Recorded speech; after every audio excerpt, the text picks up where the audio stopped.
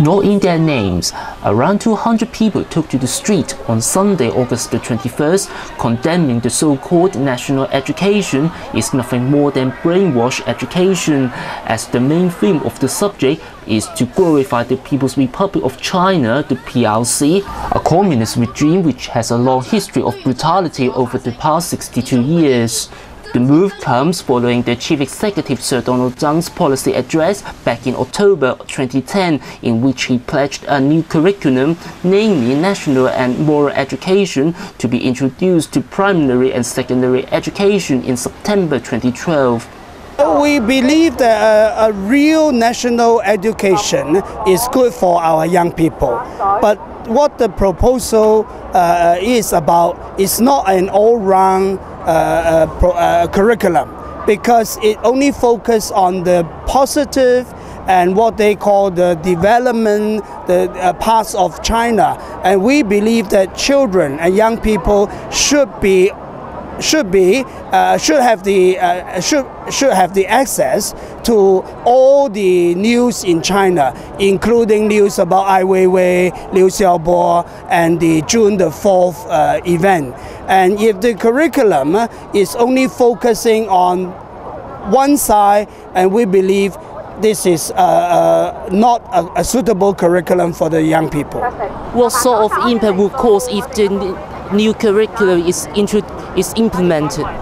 We, we are worried that young people will not get the whole picture. And if they cannot get the whole picture, they will not form a real uh, uh, concept about China. And we think this is against the education philosophy. The education, educationists in Hong Kong are all against the, the brainwashing elements in the curriculum. According to our survey, over 70% of frontline teachers are against the curriculum. If they do not listen to frontline teachers' opinions, I think frontline teachers will probably not cooperate with the government. Uh, actually, this subject is uh, brainwash education. Just let uh, our students to uh, love the uh, Communist Party and uh, do not have any do not give opportunity to, uh, to for students to choose. But Hong Kong has already reverted to Chinese rule for 14 years, and the introduction of this subject is something inevitable. You, have got to embrace it. Why you are opposing it? And we think that um, Hong Kong have uh, liberal and we should let the students to choose. Uh, they can choose to love China or uh, they hate China or uh, they can have the opportunity to choose. They will uh, love the Communist Party or they will they don't like the Communist Party. But uh, in the this moral and national education subject, the government just let people to choose to love the Communist Party from, from the students' perspective, what, what sort of impact will cause if the subject is implemented? Uh, we think that uh, students, uh, some of the students uh, will really be uh, brainwashed and they will just uh, only know how to be the slave of the Communist Party.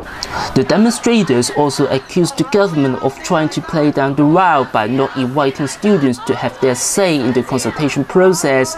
They also threatened that they would take further action if the government refused to scrap the module. It's been 14 years since the PRC reclaimed the sovereignty of Hong Kong from Britain in 1997 after 156 years of British administration.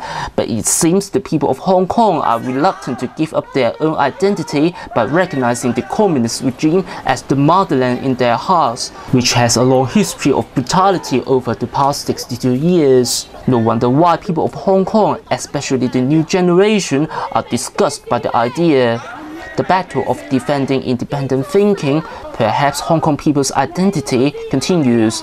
Eric Lo, INT, Lower Albert Road.